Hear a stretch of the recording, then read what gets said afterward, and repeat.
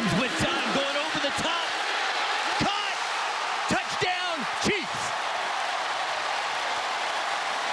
Well, and that's the risk you take if your defense is about man-to-man. -man. If you're going to go man-to-man, -man, you press Tyreek Hill and try and get hands on him to slow him down? If you miss, that's what happens. Watch as they're in press coverage. Tyreek Hill, he never even touches him. The corner doesn't get a hand on him. Breeland, of course, who is here in Kansas City, tried going press on uh, Tyreek against his buddy, and uh, it didn't like work little, out real well. Looked like a little flashback to practice back right? in the day. Right.